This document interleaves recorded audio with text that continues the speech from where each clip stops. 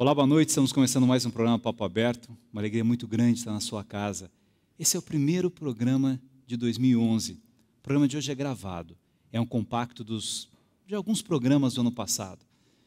Eu espero que esse novo ano ele seja um ano cheio de equilíbrio, de harmonia, de serenidade, de respeito, de paz, de amor. Talvez algumas coisas não tenham saído do jeito que você quis o ano passado, talvez algumas decepções, algumas tristezas, mas é um novo ano.